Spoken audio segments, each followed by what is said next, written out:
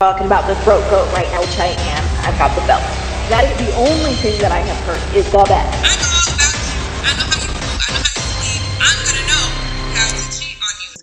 Black women are, um, we we kind we like to say that we're independent and we can do things by ourselves and that we don't necessarily need a man. Um, well, it can be some aggressive and some attitude in there that uh because of because we will outrightly say I'm, I'm a strong black independent woman i don't need you.